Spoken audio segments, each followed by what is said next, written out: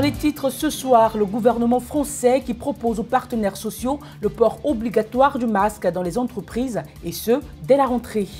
En Côte d'Ivoire, nous parlerons de l'axe Akupé-Abidjan, un camion incendié, des voitures vandalisées, des voies barrées. Voilà ce à quoi l'on assiste sur ce tronçon. Faut-il s'en inquiéter? Nous le verrons. Enfin, des cartes SIM préidentifiées sont vendues à des points de rue à Abidjan. Pourtant, le gouvernement ivoirien avait pris pour résolution de faire identifier les puces de chaque abonné pour la protection et la sécurité des utilisateurs. Alors, sommes-nous désormais tous exposés? Les réponses dans quelques instants. Madame, Monsieur, bonsoir, bienvenue dans ce journal et merci d'être avec nous. Débutons avec le nouvel épisode dans la guerre commerciale qui oppose Pékin à Canberra. En effet, la Chine a lancé une enquête anti-duping sur le vin australien, une enquête qui ressemble tout de même à une nouvelle mesure de retorsion contre l'Australie. Le point avec Nancy Touban. Coup dur pour les producteurs de vin australiens. L'association chinoise des boissons alcoolisées les accuse de vendre leurs crus en dessous du prix de revient. Conséquence, la Chine a ouvert le mardi 18 août une enquête anti-doping sur le vin australien. L'Australie est aujourd'hui le principal exportateur de vin en Chine devant la France et le Chili. L'an dernier, ses exportations ont atteint 760 milliards d'euros. Pékin est en effet le principal partenaire économique du Canberra, qui représente 25% de son commerce extérieur. Les contentieux entre les deux pays se sont multipliés depuis que l'Australie a appuyé la demande d'une enquête internationale en Chine sur les origines de la pandémie de COVID-19. Avant le 20, Pékin a suspendu pour un milliard d'euros d'importation de bœufs australiens et imposé des droits de douane sur l'orge. De son côté, le gouvernement australien a exclu l'opérateur chinois de télécom Huawei de la 5G en Australie et a fermé son territoire aux ressortissants chinois par crainte du coronavirus. Assiste-t-on à une chute continue de la monnaie nationale algérienne? En tout cas, en début de mois, le dinar algérien a franchi la barre symbolique des 150 dinars pour 1 euro. Et ce, en raison de la baisse des réserves de change du pays et de la grave crise dans laquelle se trouve son économie. Et à ceci s'ajoute la pandémie de coronavirus et la chute des prix du pétrole. D'ailleurs, selon les prévisions du Fonds monétaire international, cette année, l'Algérie devrait connaître un recul spectaculaire de son taux de croissance de moins de 6,4%.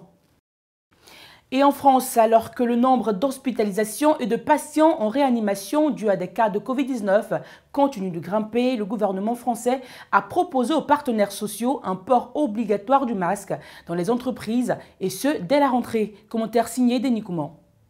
La ministre du Travail Elisabeth Bonne a annoncé lors de la rencontre avec les partenaires sociaux le dimanche 16 août dernier qu'elle envisageait le port obligatoire du max dans certaines situations comme les salles de réunion et les espaces de circulation des entreprises. Après avoir échangé avec le patronat et les syndicats en fin de semaine dernière, la ministre a commencé à présenter lors d'une réunion en vidéoconférence des mesures susceptibles d'être appliquées. Pour les activités de bureau plus traditionnelles, la ministre ne voit pas de raison de remettre en cause les règles actuelles imposant un mètre carré par poste de travail, règle établie fin juin, ni d'imposer le max dans les bureaux individuels. Le protocole actuel impose le max uniquement quand la distanciation des mètres n'est pas respectée. Selon Michel Bogas de Force ouvrière, les derniers chiffres de Santé publique France indiquent que 24% des foyers de contamination sont situés en entreprise. Les indicateurs statistiques de contamination répartis à la hausse inquiètent autorités sanitaires et gouvernement. Ceux-ci craignent une deuxième vague susceptible de secouer de nouveau le système hospitalier ainsi que l'économie du pays.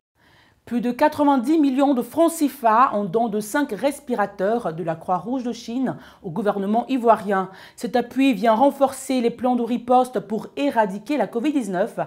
Le directeur de cabinet, Aka Joseph, a réceptionné les 5 respirateurs ce mardi 18 août au nom du ministère ivoirien de la Santé et de l'Hygiène publique. Je le disais dans les titres, l'axe Akopé-Abidjan constitue un vrai calvaire pour les usagers de ce tronçon. Du fait de la présence désormais des coupures de route nées des protestations du mardi 17 août. Le constat avec Christian Gokra. À Abidjan et dans plusieurs villes de l'intérieur du pays. Les manifestations ont été parfois violentes et suivies par des actes de vandalisme sans précédent. Sur l'axe à couper à Abidjan, les voyageurs ont vécu un calvaire qui les contraint de se retourner. Un camion incendié, des voitures vandalisées, des voies barrées, telles étaient les réalités sur le tronçon. Nous avons été contraints depuis 18h, 14h pour certains, à retourner à couper. Nous avons repris le chemin à 0h50 après l'intervention des forces de l'ordre qui ont dû hésiter avant d'intervenir à cause de la mauvaise presse dont elles sont victimes. On vient d'arriver à Abidjan à l'instant, confie l'un de voyageurs. il faut souligner que ces pratiques ont eu un impact sur les activités économiques du pays. Les populations qui voyageaient sur l'axe à couper à Abidjan en ont payé le prix. Vous le savez, nous sommes nombreux à utiliser des cartes SIM préidentifiées à nos noms après l'achat de ceux-ci aux agences et des compagnies de téléphonie mobile. Mais depuis un certain temps, des puces préidentifiées sont vendues à des points de rue à Abidjan, ce qui revient à dire que ces puces portent le nom de n'importe qui et tout le monde. Pourquoi? Faudra le demander aux agents des compagnies qui ont bien voulu nous exposer à tous ces risques. Mais c'est chose impossible car nous sommes face à un grand réseau. Je vous propose donc de suivre ce reportage de l'UFC Africa TV avec Denis Kouman, Christian Gokra et Henri Nomke. En 2013, le gouvernement a initié une opération d'identification des puces électroniques. La RTCI avait expliqué à l'époque que l'objectif était de protéger les utilisateurs et assurer la sécurité des services. En 2017, la réidentification est intervenue cette fois contre le terrorisme et la cybercriminalité. Alors comment expliquer qu'aujourd'hui des puces identifiées de tierces personnes sont vendues en toute impunité? La réponse dans cette interview exclusive. Je vends les puces commerciales. Oui. C'est quoi C'est des beaux numéros? Oui, oui, c'est joli et puis bon, voilà. J'ai mon vieux père, mon grand frère me fournit et puis moi, je m'arrange à libérer. Les puces là, s'ils ne sont pas identifiés, comment le gars va utiliser? Bon, c'est pré-identifié. Quand il met, ça passe. Voilà, maintenant quand tu veux identifier, là tu es, obligé de te rendre dans une agence avec ta pièce. Bon, ça veut dire que ça passe. Il y a une identification, mais on ne connaît pas c'est qui, c'est qu'elle su, c'est identifié, ça passe. C'est ce qui est là. Mais vous n'avez pas, parce que les puces, quand c'est préidentifié là, après, souvent il y a des noms qui sortent dessus. Et moi aussi, quoi, il y a ma puce. Oui, oui. Mais souvent, il m'avait identifié, mais il sait quoi Ok, ça c'est pas un souci. Raison pour laquelle, bon. On peut expliquer ça. Non, on peut faire pour enlever ça. C'est pas un problème. Moi j'ai dit, je vends pour mon grand frère. Je l'appelle, tout fois que vous payez avec moi, je l'appelle directement. Il, vous conduit à l'agence et puis on finalise euh, l'identification. Et puis on met l'autre. Voilà, on met ton nom et puis tout est tranquille, c'est pour toi. Et ça nourrit son nom Bon, sincèrement, c'est un mois. Comme je vous ai dit là, ça fait un mois, sincèrement. Mais néanmoins, c'est encore mieux que rester à la maison. Sinon que comme ça, moi j'ai le bac, mais j'ai tellement tenté de concours. Je me suis dit, tiens, au moins il faut grouiller, avoir un peu.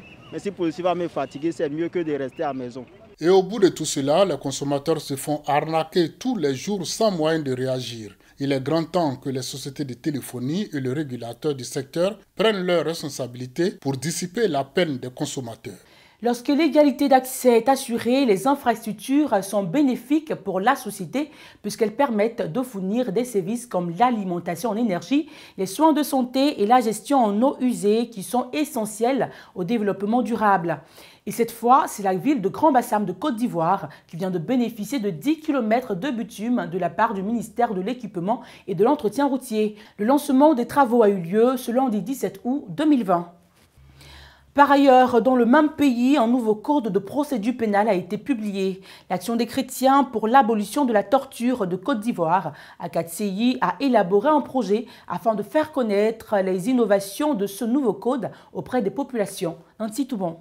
Lancé en juillet dernier, le projet de vulgarisation des dispositions du nouveau code de procédure pénale auprès des populations de quatre zones du pays va prendre fin en décembre 2020. La caravane va sillonner les localités de Bondoukou, Boaké, Korogo et Man. Pendant le lancement, la coordinatrice Kwao Isabelle a indiqué que le projet vise à terme 200 leaders communautaires formés, 100 personnes conseillées juridiquement, 4 séances de sensibilisation à l'endroit des élèves et étudiants des localités cibles. Kwao Isabelle a souligné qu'il s'agira particulièrement de faire connaître les innovations du nouveau code de procédure pénale en matière de garde à vue et de détention préventive en vue de réduire les éventuels abus liés à la conduite des procédures judiciaires à l'endroit des justiciables. Représentant la secrétaire d'État chargée des droits de l'homme, Bonnie Rogassienne a encouragé la 4CI pour cette initiative.